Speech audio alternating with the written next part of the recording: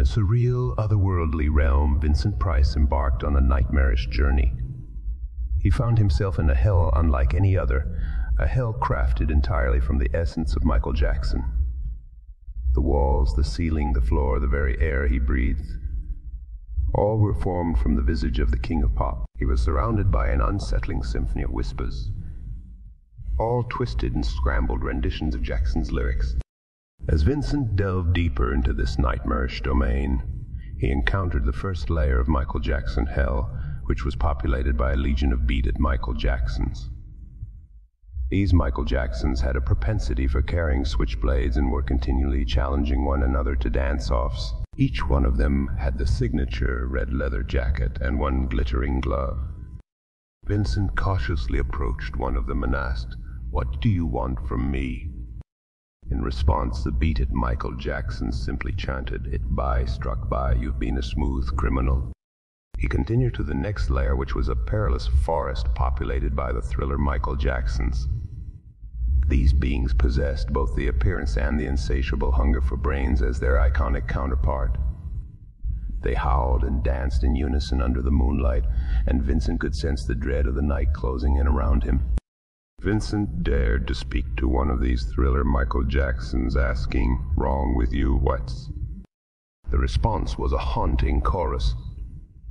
Close to midnight, evil's lurking in its dark, and something you've been hit by. Further descending into this eerie world, Vincent encountered the black or white Michael Jacksons. Each one had the power to morph into other famous Jacksons from different eras. They danced in a complex and mesmerizing pattern, transitioning from young Michael to older, from a child star to an adult, embodying various stages of the King of Pop's life. Amid the ever-changing chameleon-like beings, Vincent found the courage to inquire all this of Point What's. Their answer echoed through the ages. You're white or black, if it don't matter.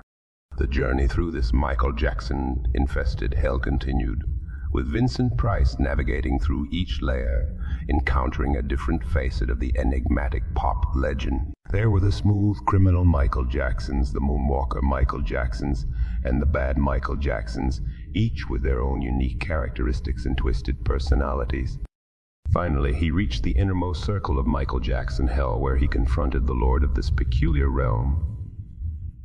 The lord had three heads, one resembling Michael Jackson, one Jackson Pollock, and the last Michael Strahan. Vincent, perplexed and exhausted, asked, Who are you? In a hauntingly harmonic voice, the three-headed lord answered dance moonwalk between a creation sports art and competition of chaos and rhythm of thriller A. Every a dance is word lyric. Every a step a Michael.